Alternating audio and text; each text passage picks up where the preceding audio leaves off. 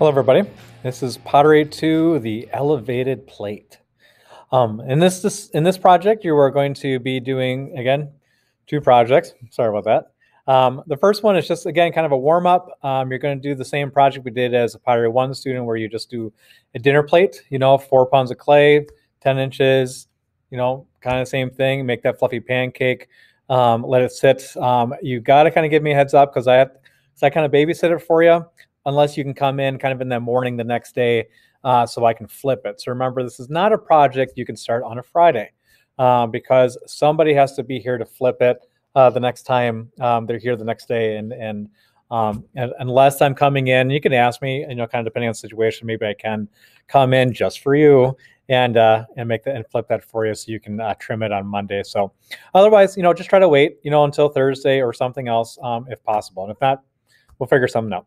Um, so on this one, um, again, there's two parts on it. You make that dinner plate, and then the other part comes in. That's the kind of the more year two part is the elevated plate.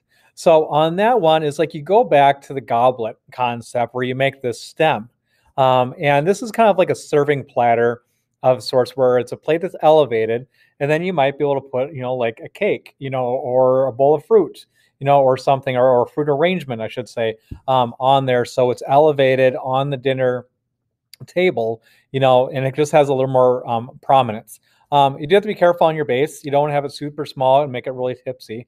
Um, you do want to kind of have a little bit wider as, as you design it. Um, and there's a right now there's a little bit of flexibility with it because um, obviously you know looking at this sheet, um, I'm still kind of developing it uh, to to a degree. We've done the project before, um, so it does work well you know, we're looking at three to four pounds of clay for the plate because that really depends on how large you want this and about a pen, you know, again, kind of pound for that stem, you know, possibly more depending on how large, how tall you want to have it, um, kind of thing. And, um, and just kind of kind of go from there. Um, in terms of video demonstrations, um, I will probably have a demonstration just uh, on me showing you how to do this one. So that's coming soon. Um, or it might even be there by the time you watch this video. So who knows? Um, and then again, there'll be some sort of art history focus, you know, or something that'll that'll add a little meat to the bones um, on this kind of a project. So, um, in terms of basic directions, you know, start with that dinner plate and um, make that 10 inches. You know, trim it. Then you make your top for your elevated plate, and again, you wait a day for the trim. Now, that time you trim it, you don't trim a foot. You keep it nice and smooth. You still need to trim it because you want to go in and give it that curve um, that you get on the plate, and um, and then and then be able to uh, you know take that off and then still thin that out a little bit so it'll sit nicely on on, on your um, on the stem of which you make next. Now, just like in the goblet, you'd have to unless you want to let it sit for a day um, and dry a little bit, um, you can kind of speed that process up and uh, um, use a blowtorch or a heat gun um, to make sure that it can handle the weight. Um, the tricky part on this one um, is that you'll have to pull out a lazy Susan.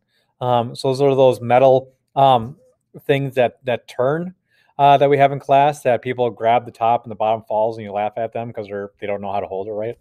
And you have to be able to sit on that so you can turn it to make sure that stem is centered, you know, on your plate. And then you got to slip and score and, and, attach that together.